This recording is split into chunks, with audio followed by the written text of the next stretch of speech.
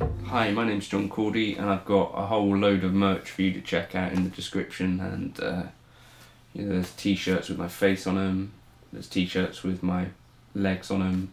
There's t-shirts, all sorts of t-shirts, obviously.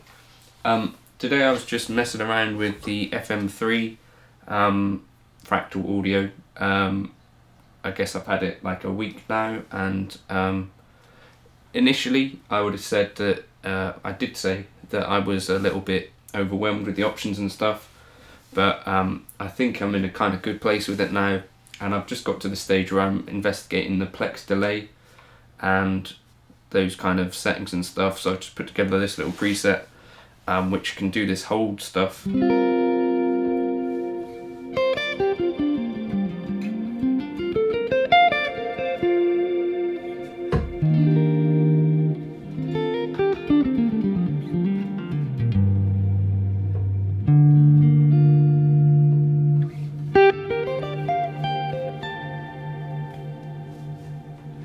Um, so I'm using an expression pedal down there to hold the reverb, which is kind of cool. Um, but I don't know, I just wanted to quickly say that I'm really enjoying this.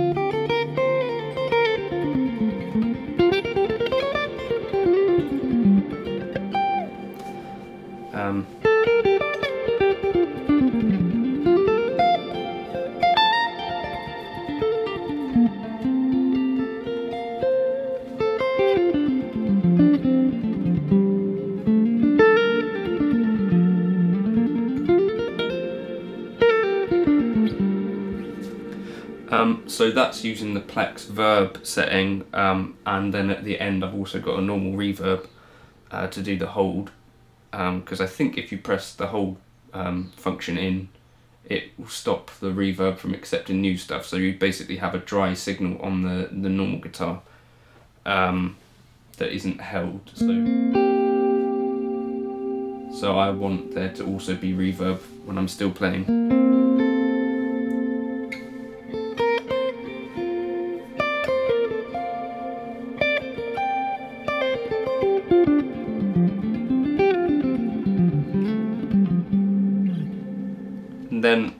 The other scene, I've made use of the um,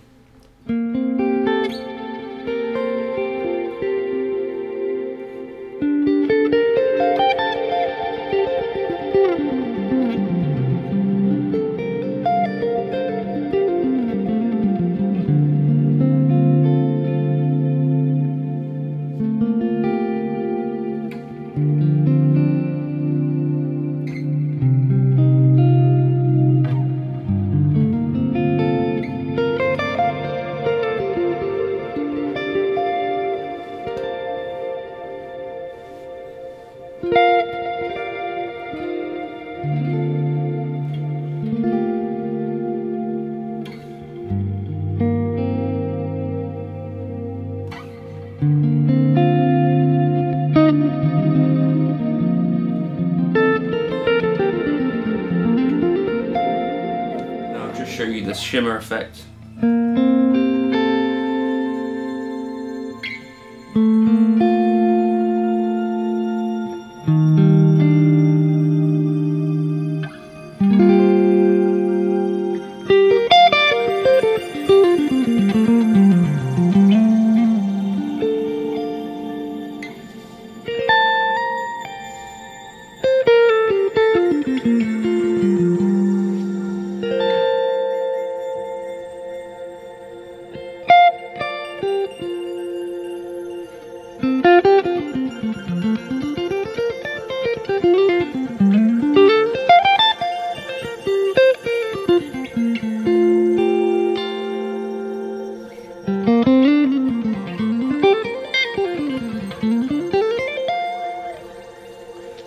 That's slightly dry, so I think what I would do is probably figure out a way to add some reverb to that shimmer. Basically what I've done is I've adjusted the, the reverb size um,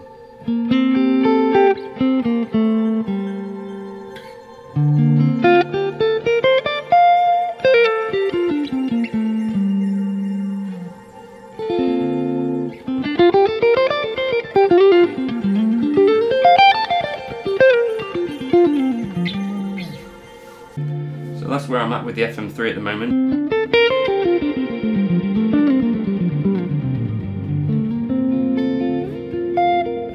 The thing that I've started doing with the HX Stomp, which is behind me, and um, now I'm going to probably start doing it with the FM3 as well, but I was trying to put together a kind of reverb and delay kind of um, type preset which I could put in front of an amp or however I want to run it or you know with an amp on the actual device itself.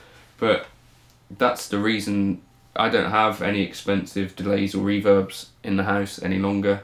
I sold my Strymon Volante just because I wasn't using it because I'm not gigging anymore. And so it's like 400 quid just sitting on the shelf. Um, but I do use my modelers all the time.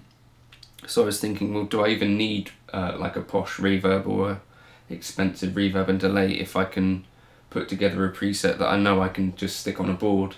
And even if I'm not using the amp modeling and stuff I'm just using the the reverb and delay like in the loop of an amp and how will that sound. So maybe I'll just set that up now and uh, we'll see what happens. Uh, that's the first time I've tried that actually.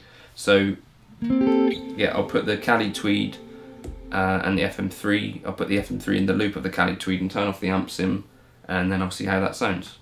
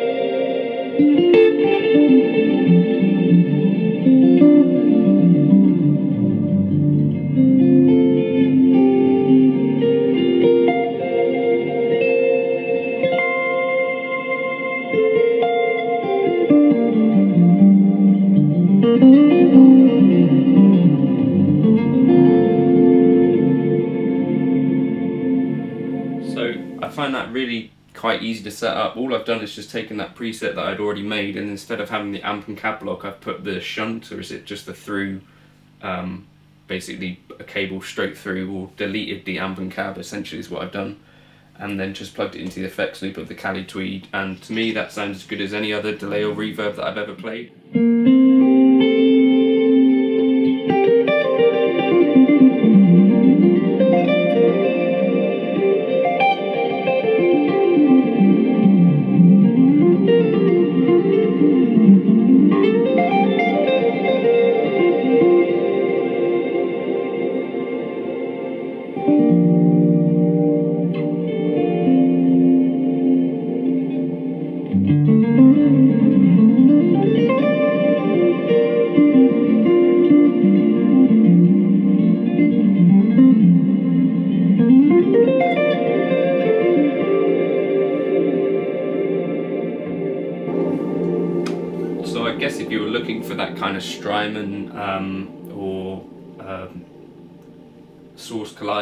Those kind of things, um, to me, I'm not necessarily going to go out there and buy any new delay or reverb, I think, for quite a while, just because I've come to the realization that the modelers that I've already got, if I start using them in this application in front of the amp, I can get some really good sounds anyway.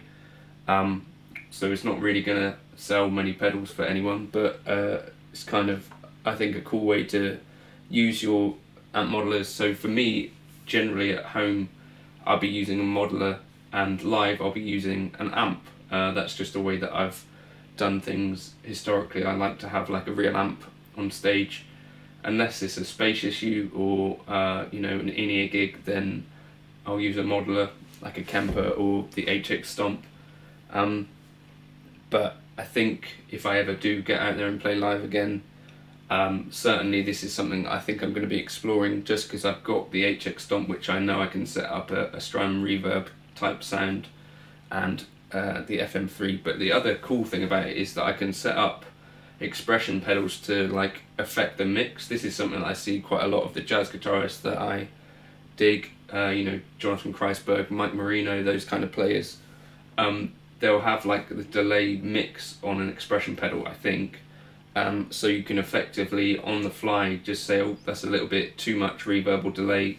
I'll quickly back that up, and you're not just stuck, and you're not having to bend down and change things. So I think that's what I'm going to aim to do is set up. Um, I've already done it on the HX Stomp, but presets that I can have control over how much reverb and delay is coming through, and but also I'm really happy with the way that delays and reverb sound in general.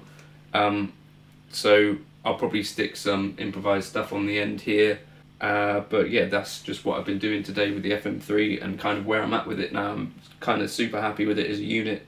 I've read some people saying that some people have said that it, they feel it's underpowered.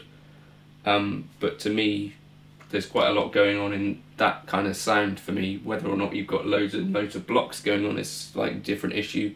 But I've got like you know the Plex delay's got crazy amounts of stuff going on in it. Uh, I've got a reverb. Uh, what else have I got on here? I've got a trem block. That's all I've got for that there, and you can get that much of a complex kind of sound going on. Um, then I can add an amp and a cab, and that's running that no problem. Um, so I think it's got quite a bit of power under the hood. So for me, I think there's enough. For some people that are running uh, crazy presets, maybe you'd struggle a bit, you know, if you're running lots of EQs and all that sort of stuff. But there are loads of other places, so maybe you wouldn't use an EQ block anyway, because there's loads of other places that you can apply an EQ that's kind of always on.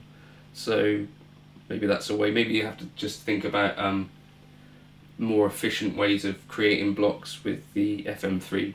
Similar to the HX and the Helix, to be fair. Um, you know, in the Helix you can afford to be kind of, uh, you know, run as much as you like, whereas in the Stomp you have to think about your presets a little bit more. Uh, and I think maybe it's a similar situation with the Axe FX3 and the FM3, perhaps. Anyway, hopefully this was slightly useful. If you want that preset um, that I'm playing with, it'll be in my uh, FM3 folder, which you can get access to if you just use the Buy Me a Coffee link. Uh, if there's anything useful in this video or anything you enjoyed, uh, you could also use the Buy Me a Coffee link, but only do it if you enjoyed this and you can afford it, and yeah. Um, but yeah, that's just what I was wanting to talk about today. You know, the reason that I, th I think I've taken too long to explore this kind of stuff, and I feel a bit silly to be honest, because uh, you know I I could have saved some money on like delay and reverb pedals potentially. Um, or you know it's just sounds that I find really inspiring so uh, I'm not sure why it took me so long to do it but